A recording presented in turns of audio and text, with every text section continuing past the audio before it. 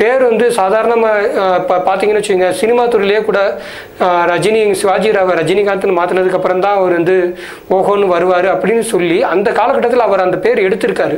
So அந்த choose பண்ணனால தான் அவர் இன்னைக்கு சூப்பர் ஸ்டாராக இருக்காங்கிறது ஒரு ரஜினிகாந்தே ஒரு உதாரணமாக கூட நாங்கள் வச்சுக்கலாம். ஸோ இந்த பேஸ் பண்ணி தான் ஒரு பேர் கூட ஒரு ஆளை வந்து சாதாரணமாக இருக்கிறதுலையும் பெரிய ஆளாக நாலு பேர் தெரிஞ்சிருக்கும் புகழ் கிடைக்கிறதுக்கும் நல்ல ச சம்பாதிக்கிறதுக்கும் நல்ல பேர் வர்றதுக்கும் ஸோ பேர் கூட இம்பார்ட்டன்ட் இருக்குங்கிறத கலைத்துறையிலையும் தீர்மானம் ஆயிருக்கு ப்ரூஃபும் ஆயிருக்கு.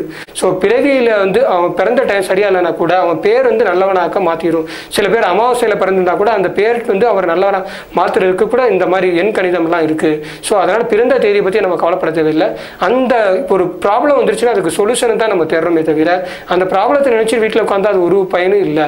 ஸோ அதே மாதிரி தான் வந்து நம்ம பேரும் வந்து ரொம்ப இம்பார்ட்டண்ட்டாக இருக்குது ஒரு பேர் பிறந்த தேதி வந்து நல்லா இருந்தாலும் ஸோ அவனுக்கு இன்னும் நமக்கு நல்ல பேர் வச்சா அவன் இன்னும் நல்லா பிரதிபலிப்பாங்கிறதுனால தான் நான் இந்த ராயல் ரொமான்டிக் வந்தேன். ஸோ எனக்கு நல்ல பேர் கிடச்சிருக்கு.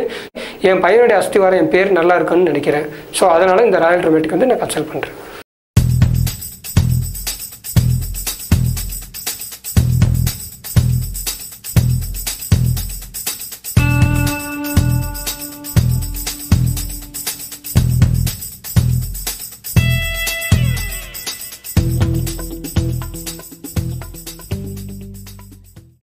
வணக்கம் நான் ரமேஷ் கண்ணா பேசுறேன்.